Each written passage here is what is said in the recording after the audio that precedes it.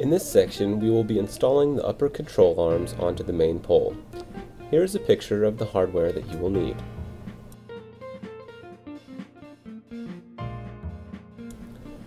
With the long bolt in hand, place a steel washer followed by a plastic washer onto the bolt.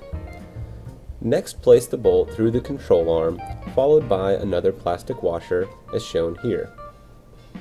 The ends of the arms are the same, so you can start with either side.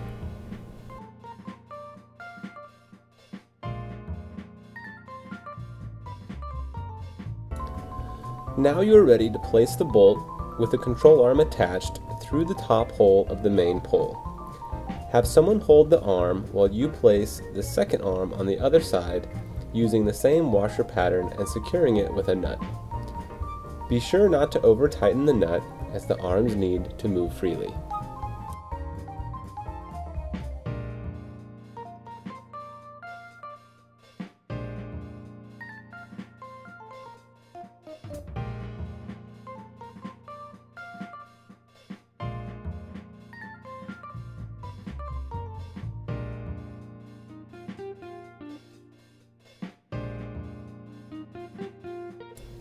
Thanks for watching this video.